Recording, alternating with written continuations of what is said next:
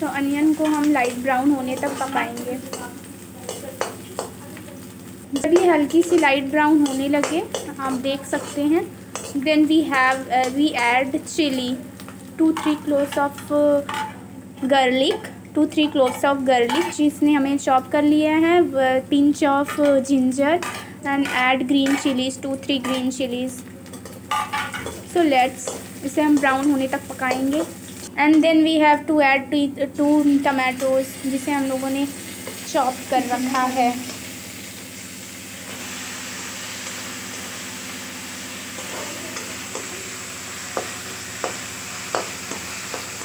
We have to stir for through two three times and then we have to add according to your taste you have to add salt white salt दो तीन बूंद पानी का आप stair कर सकते हैं, अगर आपको लगे कि ये जल रहा है और ये थोड़ा सा बूंज जाए इसके लिए। So guys please like share and press the bell icon जिससे जो हम लोग वीडियो पोस्ट करें वो आप तक पहले ही पहुँच जाए। Added this Ching chow mein Maggi masala इसके अंदर मुझे थोड़ी सी चीनी भी दिखाई दी है।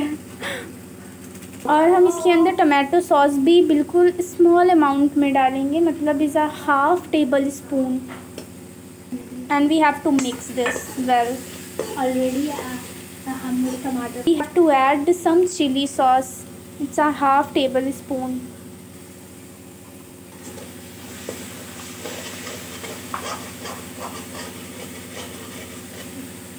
and we have to add अगर आपकी चाउमीन बहुत ज़्यादा स्टिकी और थिक हो जाती है तो जैसे मैंने आपको बताया, आप पहले वाटर को बॉयल कीजिए।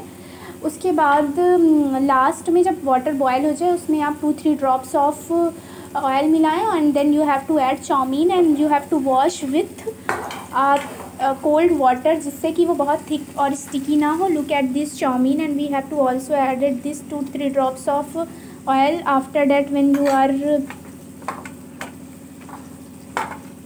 boil so let's check it and this is uh, like a hukka noodles you have to watch it ये आपकी sticky नहीं है it's a very thin and now this is uh, the time when we are adding this